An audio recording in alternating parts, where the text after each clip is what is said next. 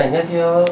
안녕하세요 여러분 천영입니다. 네, 이번 시간 주제는요. 네, 2023년 네, 양력 7월 달에 음, 대박나는 띠와 생일달인데요. 곧 네, 있으면 이제 7월 달 그렇죠. 어떤 띠와 생일달들이 네. 알아보겠습니다. 어 이제 양력 7월이 이제 바로 곧 시작이 되기 때문에 이제 아무래도 달마다 성격이 다 다르고 근데 이제 지금 여름 시즌이다 보니까 이제 조심을 해야 되겠죠. 이제 더워지고 또 물놀이 가고 또 여행 가고 또 피서를 가기 때문에 이제 거기서 자칫 막 이제 가족들끼리 모여서 술 마시고 놀고 그러다 보면 이제 급발진 사고도 일어나기도 하고 그리고 여러 가지 우왕좌왕 하는 틈에 또 생각지도 못한 일들이 일어나게 될 텐데 자 아무튼 양력 7월의 성격은 조금 6월보다는 날카롭습니다. 이제 그러나 지금 음력 5월이 중간에 껴져 있기 때문에 음력 5월이 지나가고 나면 지금 그냥 음력 또 6월이 거의 걸쳐져 있어요. 양력 7월 안에. 근데 음력 6월은 솔직히 좋은 기운을 가진 달이 아니기 때문에 조금 조심해야 될 그런 달인 것 같습니다. 그래서 우선 양력 7월 한 달 어떤 일이 있고 그리고 요 달은 근데 여름까지 같이 결려 있다 보니까 항상 삼재나 언니 아홉수 아니면 조심을 해야 되는 그런 사람들은 필히 어, 참고하셔서 그 부분을 좀 지혜롭게 슬기롭게 현명하게 대처하시길 바라겠습니다. 자, 29살 먼저 시작을 하죠. 의뢰생이고 1999년생인데 자, 이분들은 그 941생이라고 나와요. 근데 자칫 어, 내가 그 부분을 어, 정말 누군가가 아니었으면 그러니까 누군가라기보다는 어떤 무언가로 하여금 내가 좀그 자리에 없었기 때문에 내가 피할 수 있었다라는 건데 자칫 그게 아니었으면 내가 막 쇠고랑도 차고 그것 때문에 경찰서를 들락날락 거릴 수 있는 일이 생길 수도 있었겠다라는 게 지금 이분들한테 있습니다. 그래서 양력 7월은 이 사람들한테 대박나는 띠라기보다는 그래도 941생으로 하여금 그런 거를 날 위기 모면을 할 수 있었겠다라는 시점에서 이분들을 한번 어 말씀을 해드리는 건데 아무튼 아홉 수다 보니까 올해는 조심을 해야 될 필요는 있고 그리고 구에서 항상 다음 숫자로 넘어가는 요 때는 그래도 어쨌든 자중을 해야 되고 절제를 해야 될 필요성은 있어요. 자 그 다음에 두 번째 38살이고 을축생입니다. 85년생이네요. 자 비온 뒤에는 비로소 무지개를 내 눈으로 봅니다. 라고 나오네요.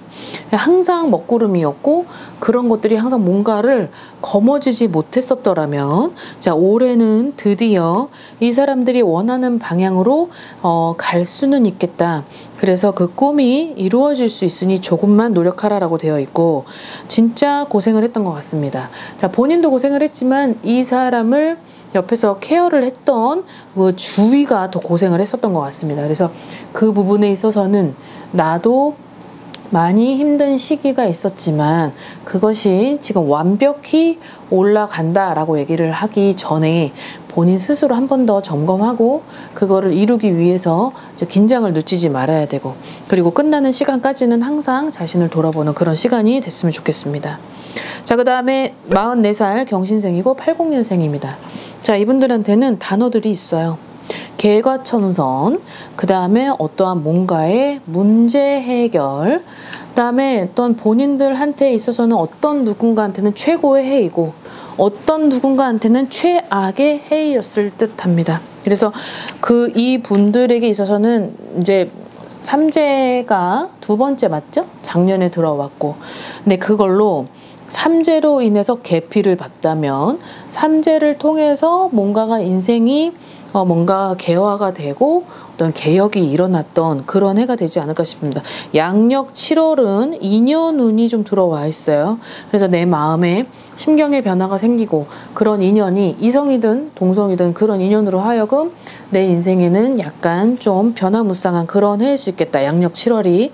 양력 7월 한 달은 그래도 어쨌든 본인한테 있어서는 아까 문제 해결이라고 나왔던 것이 이게 서로 간에 각각 각각 한 사람에 있어서 문제 해결일 텐데 그런 것들이 좀 해결이 되면서 양력 7월 중순 정도 가까이에 해결이 될 것 같습니다. 그래서 그 해결이 됨으로써 뭔가가 내가 좀 뜨뜻미지근했었던 그런 기운이 다시 원상복구를 한다고 하니 조금만 힘내시길 바라겠고 자 그다음에 45세의 김희생입니다. 79년생이고 자 어떤 누군가를 만난다고 하네요. 양력 7월에 근데 어떤 누군가를 만나는 게 이게 귀인인지 아니면 어떤 본인한테 있어서 어떤 인생의 어, 어떤 부분을 적용하는지는 잘 느낌이 되게 커요. 어, 귀인이라고 보기에도 그렇고 어, 되게 느낌이 높고 되게 그좀 광대한 그런 느낌이 있습니다.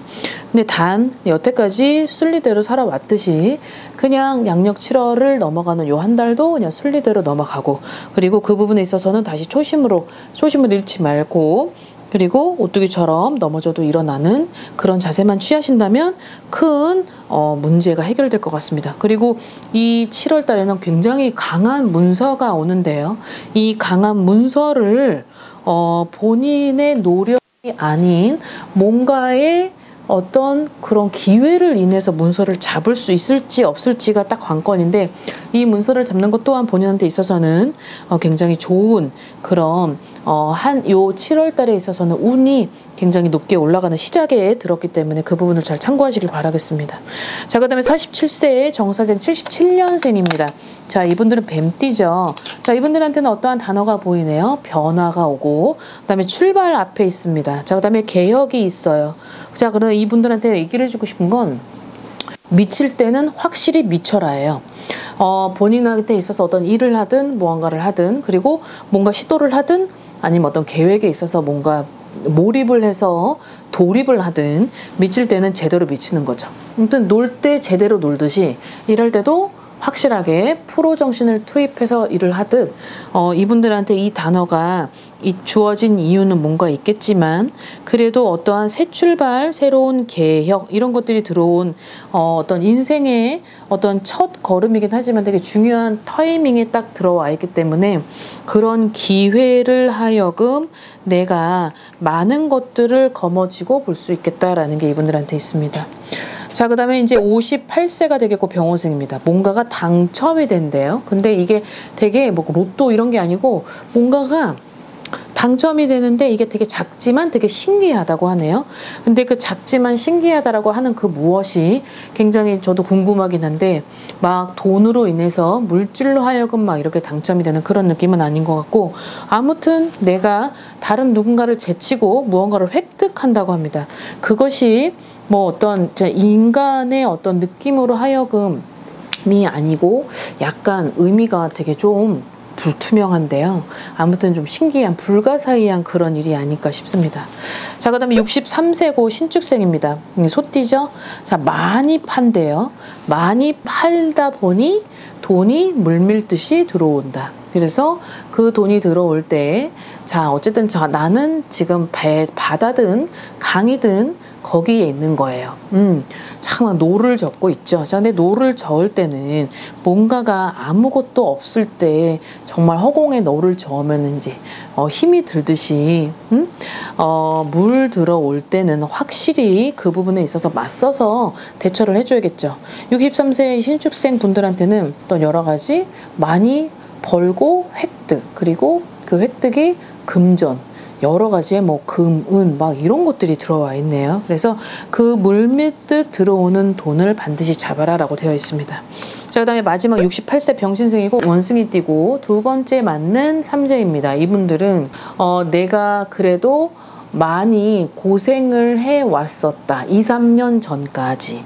근데 그 2, 3년 전까지 많은 걸 잃어봤고, 그리고 많은 걸, 그리고 놓쳤고, 그리고 정말 죽다 살아나기까지 했고, 이랬다면, 두 번째 맞는 삼재이긴 해도, 그래도 큰 복삼제에 들어와 있기 때문에 그 복삼제이니만큼 내가 나를 통해 많은 사람들이 나를 도와주고 그 많은 사람들이 도와줌으로 함으로써는 내가 어떤 위치나 그런 자리가 어, 위로 올라가고 승승장구할 수 있는 그런 횡재 그런 귀인 여러 가지 금전 오복이 같이 들어오는 그런 어, 하반기가 될 것 같습니다. 자 오늘은 2023년 그리고 어, 양력 7월 이제 하반기에 돌입이 됐죠. 그 하반기 때 어, 본인한테 있어서는 굉장히 대박이라고 하면 대박이고 대운이라고 하면 대운이겠고 어떤 본인의 본분에 맞게끔 어떠한 운이 들어오는지를 한번 살펴봤는데요. 여기서 내 띠가 없다라고 하여도 너무 서운해하지 마시고 그리고 아무래도 영감을 얻어서 내는 사람이다 보니까 비록 지금도 굉장히 많은 사람들 이거를 압축시키고 빨리빨리 얘기하느라 그래도 적은 인원이 아니에요. 그러니 다음에 또 여러분들하고 같이 공감할 수 있는 그런 영상 올려드리도록 하겠습니다. 자, 오늘 하루도 건강하고 되시고 안녕히 계세요. 구독과 좋아요 부탁합니다.